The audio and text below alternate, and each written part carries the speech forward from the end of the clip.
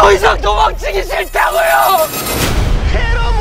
저도 형처럼 강해지고 싶어요. 어, 너 상어 알지? 이 상어는 잠깐이라도 헤엄치지 않으면 가라앉아 죽어. 그래서 끊임없이 움직여야 돼. 기대해. 너 거기서 나오면 그때부터가 진짜 시작이야.